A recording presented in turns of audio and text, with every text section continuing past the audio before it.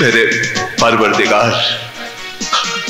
आज मुझे इतनी औलत ज़रूर देना कि मैं ताजिए की जियारत कर सकूँ। इतनी औलत ज़रूर देना। आशिम लहू में